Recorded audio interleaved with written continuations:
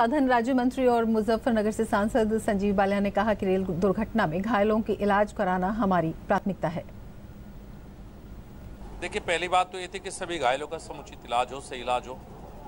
जिनकी डेथ हो चुकी है, उनका पोस्टमार्टम कल सुबह हम कराएँगे, सबकी डेड बॉडी हम घर भेजेंगे। सबसे बड़ी बात यह थी कि कोई कैजुअलिटी ना हो, किसी की जान, किसी भी तरह से हम बचा सकें। जो गंभीर रूप से घायल है, उन्हें मेरठ भिजवाएँ।